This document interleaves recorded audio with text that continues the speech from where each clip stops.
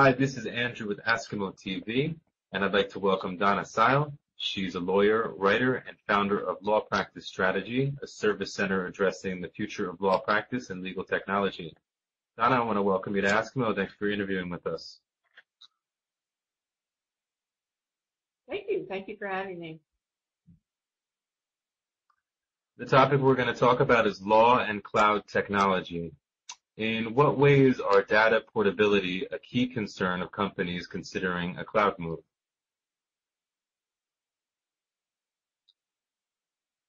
Uh, data uh, portability is extremely uh, important to lawyers because the data that they are putting in the cloud is actually it's a question of ownership um, and the lawyer needs to retain ownership of that data, um, not only for him or herself, but also for her client, his or her client. And so that needs to be clarified in the, just from the outset when you are researching vendors and um, trying to make a decision about what cloud platform you would like to um, you know, use in your practice uh, one of the key terms that you um, should try to find either in the uh, service level agreement or or the terms of service. Um, frequently, these terms are in, are included in the ClickWrap agreement that uh, all sites have, and you need to read. Lawyers need to read those very carefully because if it doesn't have any uh, um, information in the terms of service and what the cloud provider's position is on that, uh, on data portability, then you need to have a conversation with the vendor about what happens when um, they want to take their data and go somewhere else. Uh, it needs to be not just made portable from a functional standpoint, but also uh, he needs to be sure, the lawyer needs to be sure that the vendor does not claim ownership of content. Uh, and so it, it's it's actually an extremely important point um, that needs to be clarified at the outset, and um, and uh, so that you know that if you want to go somewhere else, you can take all of your content and data with you. How can a customer retrieve their data if they decide to go somewhere else? Uh, do all cloud companies have this functionality? Well, there's certainly no reason why a cloud company uh, uh, wouldn't be able to uh, create a function that enables this. Um, and so the question is not so much can you do it? The question is, will the vendor uh, agree to have that happen? Uh, uh, and so the vendor really, while you're having a conversation about what their policies are on retaining content, you should also have the, uh, the conversation about what, um, how that process is going to happen. What are the steps the vendor is going to take in order to make it accessible? Are they going to download it into, you know, spreadsheets or, or whatever? How, what format are you going to get content back in? And make sure that it is then uploadable to whatever vendor, whatever other vendor you go to, or uh, even if you decide to get out of cloud altogether, um, it has to remain, you know, in some format that is intelligible. So again, um, part of the conversation that you have with the vendor about how this is going to happen because it's really up to them. And do all vendors have it? Uh, again, they can have it. They can create it even if they haven't. And if they don't, then if they won't, then lawyers should not um, create a relationship with them. Why haven't attempts to build standards to neutralize cloud lock-in been successful at this point?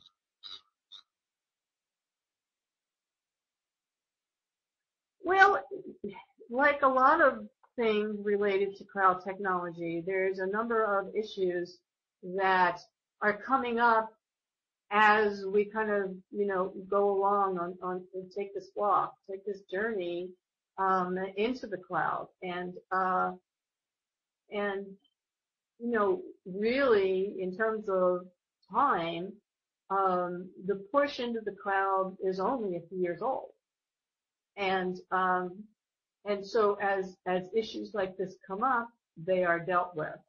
Um, but not always as they definitely are not dealt with quickly enough for uh, for when they arise to address the issue.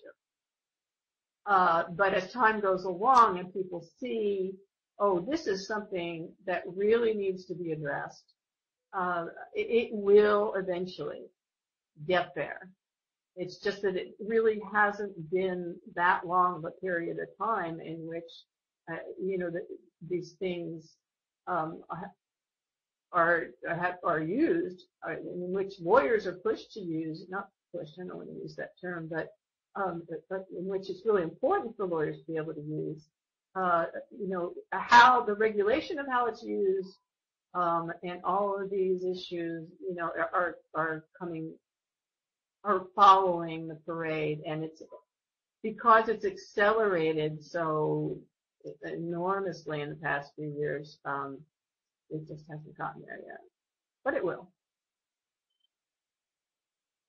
Can you tell me a little bit what are, about what are cloud ethics? Cloud ethics. Okay. Um, the ABA actually created um, a commission called Ethic, uh, Ethics 2020, which is really um, the, the mission of that commission was to study the model rules in light of uh, lawyers using all of this new technology and determining whether or not the use of the technology and um, well, in determining whether or not the use of the technology violates uh, professional rules of conduct in any way. And, and whether or not we need to create more rules, whether or not we need to change the existing rules, et cetera, et cetera. Now, the problem with regulation is that it, the more regulation that you have, uh, the more that it, it, has a chilling effect on innovation. And uh, at, we don't need that in the legal profession. If anything, we need uh, support so that we can move forward in uh, integrating this into the profession as a whole. Um, so what the ABA has done is is and, and many by it's not just the ABA, also many states have have addressed these issues as well. But what they've done is they've looked at existing uh, ethical obligations such as um, uh, the duty of confidentiality, for instance. Now that is a basic uh, ethical obligation that the lawyer has to and to, and to safeguard the uh, the data and the content uh, of of the client. And um, so they look at the rules and say, well, um, does the fact that the lawyer is using cloud technology um, require more restrictive um, behavior? Does it require, do we need to write more into this rule? And, and so I, it wasn't exact, I don't know if it was the rule of confidentiality, I think it was the, uh, the competence, um, the model rule of competence, where they did, in fact, um, add the obligation of the lawyer to stay apprised of the technology that they are using, uh, in addition to the other thing, uh, things that they need to stay apprised of to be competent lawyers. Um, and that and the standard is because it, because it, technology changes so much, they haven't really um, enumerated the steps that a lawyer should take because they're different in, in each instance. And so they have adopted uh, a standard of reasonableness in terms of looking at, you know, did the lawyer do his or her due diligence in uh, vetting the vendor that they are now, um, you know, uh, housing their content, uh, this, uh, who has the servers where their content is.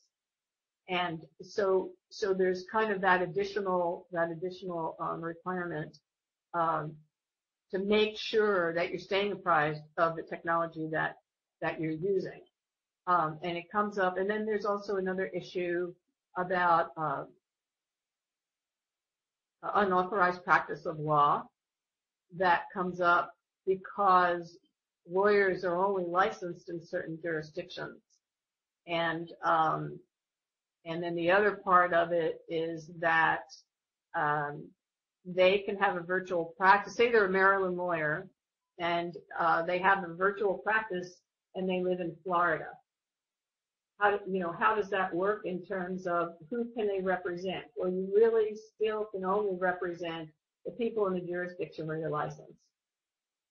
And so you've got to be really careful when people are contacting you via the internet to uh, be sure that that's where these people reside.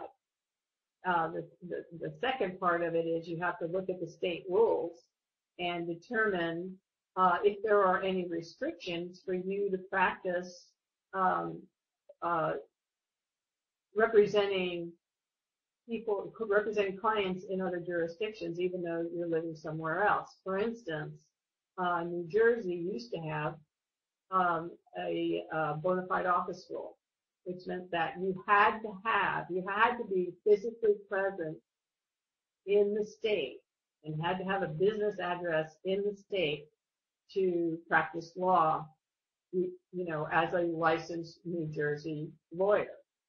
And that was a real problem for lawyers who were licensed in New Jersey but decided to move to New York because then they couldn't practice online. Um, fortunately, that has since changed and New Jersey has changed their law. But you need to check with, the, with your state's uh, regulations and um, and and make sure that you're staying within existing ethical guidelines.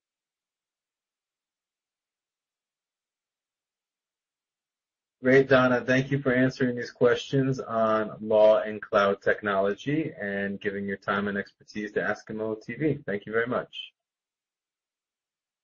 Okay, you're welcome.